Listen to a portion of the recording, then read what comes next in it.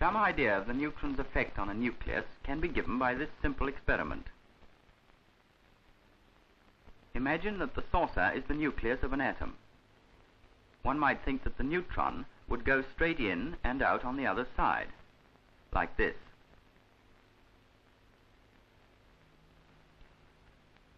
Now let us fill the saucer with marbles to represent the particles in the nucleus. If we let the neutron marble roll down into the nucleus, it will jostle the others but remain in the saucer. The nucleus has captured a neutron. It becomes unstable and gives off its excess energy as beta and gamma radiation.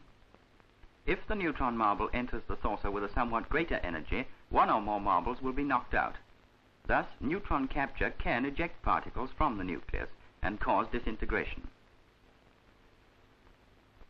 Out laboratories, the world was disturbed by the strident voices of evil men um, and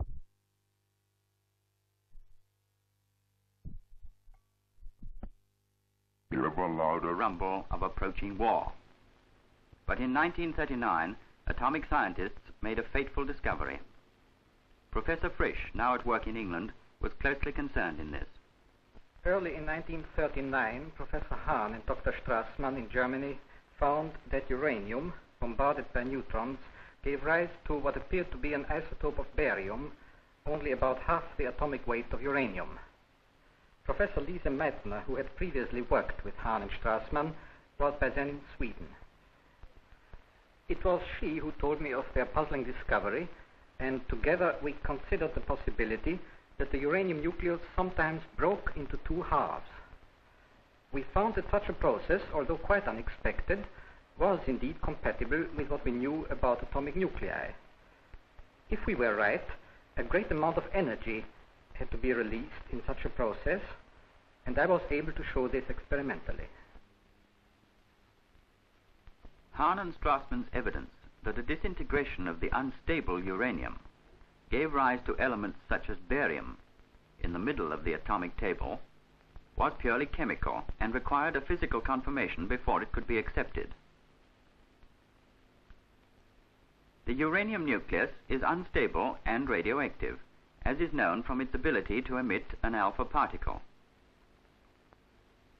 If a uranium nucleus could indeed capture a neutron, becoming more excited and splitting into two approximately equal fragments, it was to be expected that a large amount of energy would be released in such a process, the fission fragments being hurled apart with great velocity.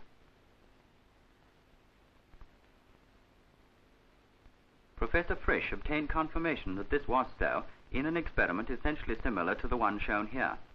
Uranium was placed in the ionization chamber, which was placed over the end of a bombarding tube through which high-energy deuterons could be sent. The chamber was connected, as you see, to an oscilloscope.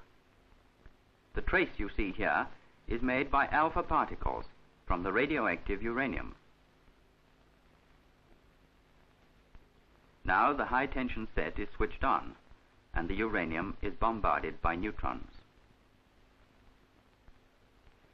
On the screen of the oscilloscope, the fission pulses reveal the large amounts of energy released when uranium atoms are split. If each fission had to be provoked by elaborate apparatus like this for accelerating particles, there was no hope of deriving useful energy from the process.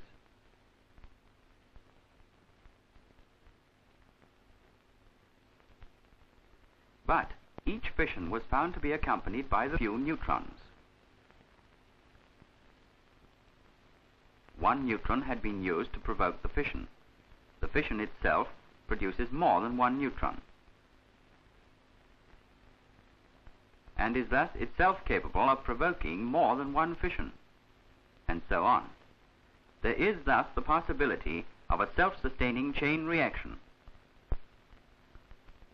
The reaction can begin without any neutrons being supplied from outside, since a few fissions are always taking place spontaneously. These would supply the fused neutrons. While these facts were being investigated, the political high tension in Europe sparked over into actual war. Years of aggression had at last forced the Western democracies to challenge the attempt. at fascist domination of the world. Under wartime security, research on the use of atomic energy was pushed ahead. What was the problem to be attacked? The possibility of a fast chain reaction suggested an atomic bomb.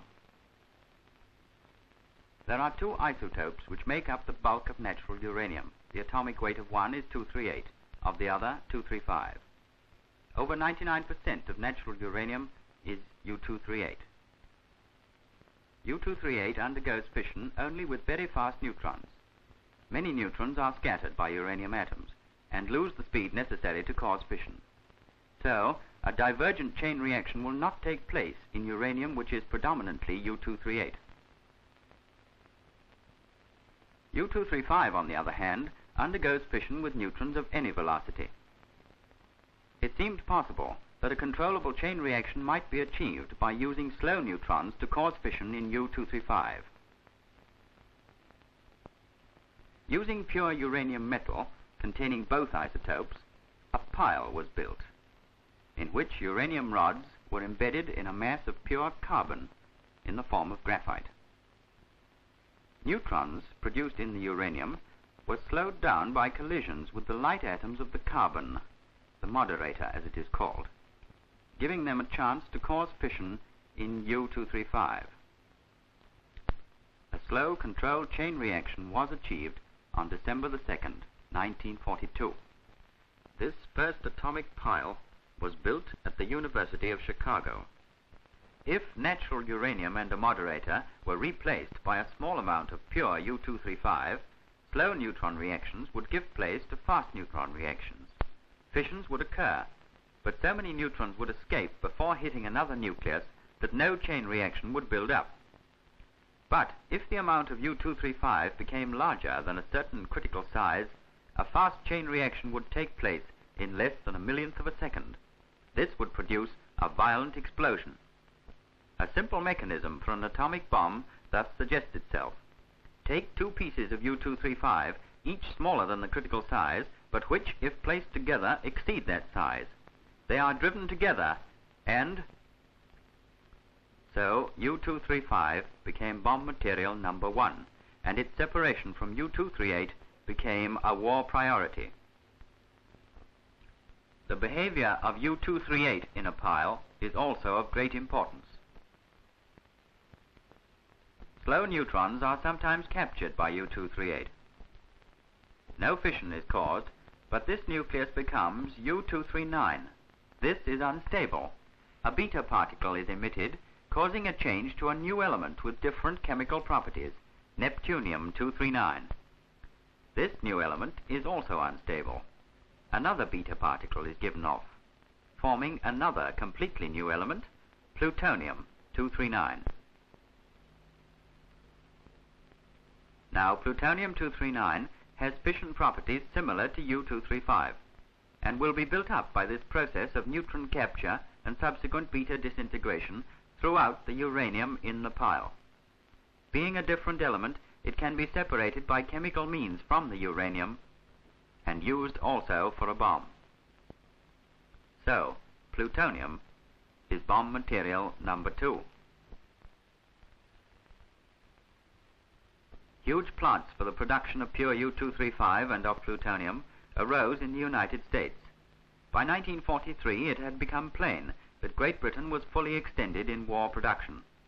In consequence, her nuclear physicists crossed the Atlantic to continue with American and Canadian colleagues the brilliant work already done. The main practical effort and most of its prodigious cost now fell on the United States, where very active research had been going on since 1939. The processes were laborious, and at all times elaborate precautions had to be taken by workers on the atomic pile and in the chemical laboratories because of the ever-present dangers from gamma and neutron radiation. Danger signs and warning signals, lead and concrete shields, remote controls, detectors, protective clothing. These were the everyday equipment of the men who worked to make the material for the bomb. At last, in the desert of New Mexico, the first atomic bomb was set off under conditions of great secrecy. Thousands of calculations, years of work, reached their climax in this moment of dreadful splendor. Within a few weeks, the bomb burst upon Japan, and the news of it upon a startled world, which has now seen this supreme destroyer in action five times in all. We are aware now of the compelling urgency of the situation created by the bomb. We know that war must be banished, or else our civilization may die, as Hiroshima died on that summer morning in 1945. The tale has been told in full by those who lived through it. A city destroyed in an instant, 60,000 people dead, many from flash burns, thousands more by blast, many from strange sicknesses caused by gamma radiation.